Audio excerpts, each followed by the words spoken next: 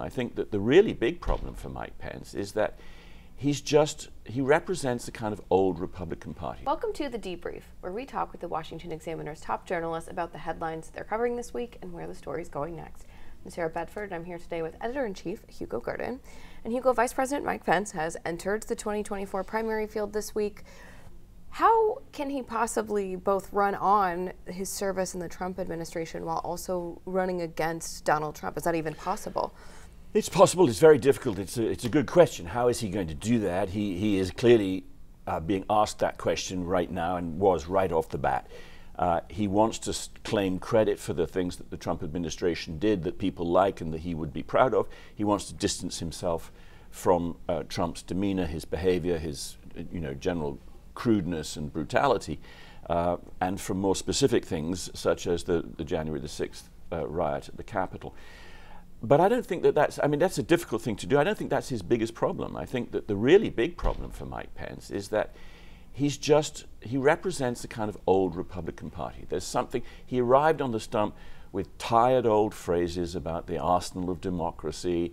He just can't make himself interesting he's you know he just hasn't got any fire in there he can talk he can use the right words that the republicans have used all of these years uh, uh, but you know he has this sort of buttery smooth radio ad delivery. He wants to be a sort of a kind of an all shucks regular guy.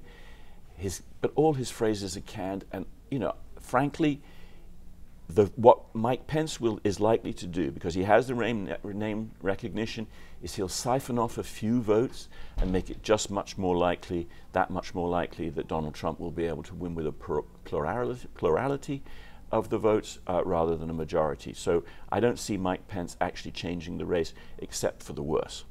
Another long shot candidate entered this past week as well, former New Jersey Governor Chris Christie. He's been, you know, out of office for years. He did a 180 on Trump. What what does his constituency look like? I don't know that he has a constituency. I mean, certainly he's, uh, you know, as a as a prosecutor and an extremely sort of uh, able uh, attack uh, rhetorical guy, he's able to do some uh, damage to other candidates. He obviously did so to Marco Rubio in the last, in, in 2016. And he came out in this uh, election with the clear intention of doing damage to uh, President Trump, who mocked and uh, belittled Christie uh, back in 2016 and 2017.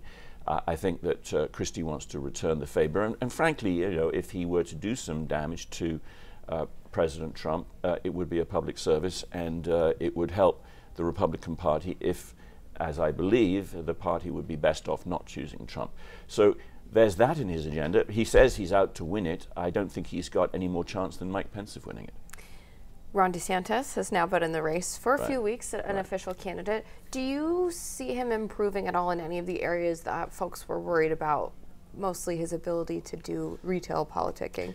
Yeah, well, he doesn't come naturally to that. Um, he has uh, done, uh, sorry, DeSantis has mended some of the damage he did with the speech about Ukraine, which went down extremely poorly. Um, the thing is that DeSantis is very smart he's uh, pugnacious, he's popular, and he's been an effective uh, governor in a, in a big state.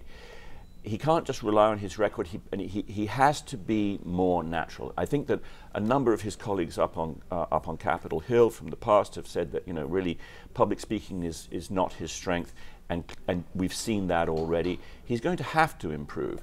But I think that, you know, the rough and tumble of what is going to be nine to ten months before the primary is decided and the nominee is decided, he's bound to improve over the course of that time. And, uh, you know, he is the one serious contender right now, apart from Donald Trump.